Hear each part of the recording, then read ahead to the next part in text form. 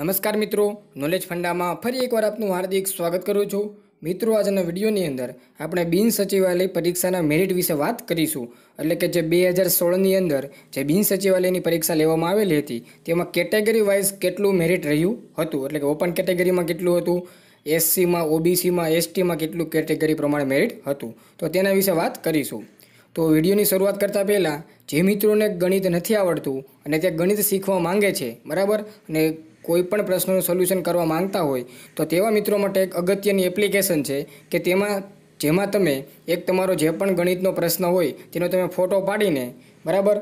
તેમાં એપ્લિકેશન ઉપર અપલોડ કરશો, એટલે તે ફોટ, જે તમારો સવાલ હતો, તે સવાલનું તમારે વીડિયો સાથેનું સોલ્યુશન તમે જ્યાંથી તમે સરળતાથી અને ઝડપથી મેળવી શકશો. તો તે જુઓ કે કઈ રીતે કામ કરે છે. તો મિત્રો, સૌપ્રથમ તમારે વિડીયોના ડિસ્ક્રિપ્શનમાં આપેલી લિંક ઉપરથી એપ્લિકેશન ડાઉનલોડ કરવાની રહેશે.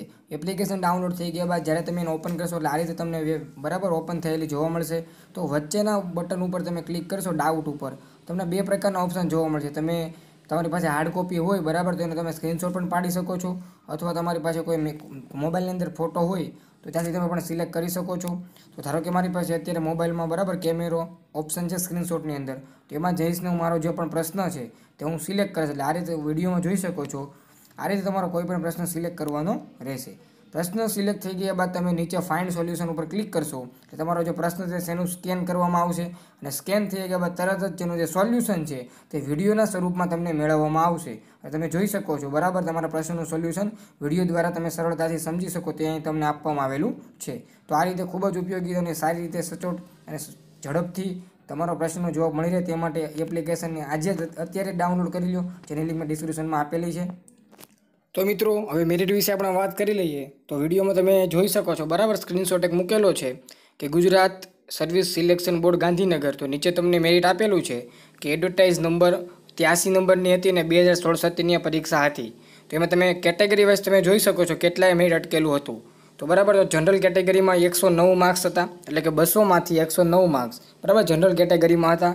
ત્યાર પછી જનરલ ફિમેલની અંદર વાત કરીએ તો ચોરાણું પોઈન્ટ પચીસ માર્ક્સ હતા. ત્યાર પછી એસીબીસીની વાત કરીએ તો એકસો ને ત્રણ માર્ક્સ કેટેગરીમાં હતા. બીસી ફિમેલની વાત કરીએ તો પંચ્યાસી પોઈન્ટ પચીસ માર્ક્સ હતા. પછી એસસી કેટેગરીની વાત કરીએ તો એકસો ત્રણ પોઈન્ટ પંચોતેર માર્ક્સ પછી એસસી ફિમેલની વાત કરીએ તો નેવું પોઈન્ટ પચીસ માર્ક્સ પછી એસટીની વાત કરીએ તો એટી ફોર બરાબર? ચોર્યાસી માર્ક્સ અટકેલું હતું. પછી એસટી ફિમેલની વાત કરીએ તો એસી એટલે કે એટ જીરો માર્ક્સ એને હતા. તો આ રીતે અલગ અલગ કેટેગરી વાઇઝ પ્રમાણેનું મેરિટ તમે વિડીયોમાં જોઈ શકો છો. બરાબર? એટલે આ રીતે તમારે કઈ રીતે એકસો નવ કરતાં વધારે માર્ક્સ લાવવા, તો તે પ્રમાણે આપણે તૈયારી કરવી જોઈએ. તો આ, તો આજના વિડીયોની અંદર આપણે જોયું કે કેટલાય મેરિટ બરાબર? લાસ્ટ ટાઈમ એટલે કે બે હજાર સોળમાં જે પરીક્ષા લેવામાં આવેલી હતી, તેમાં કેટલાય મેરિટ અટકેલું હતું. બરાબર? તમારા મિત્રો હોય કે જે સચિવાલય અને બિન સચિવાલયની પરીક્ષાની તૈયારી કરી રહ્યા હોય, તો તેવા મિત્રો સુધી આ વીડિયો પહોંચી રહે.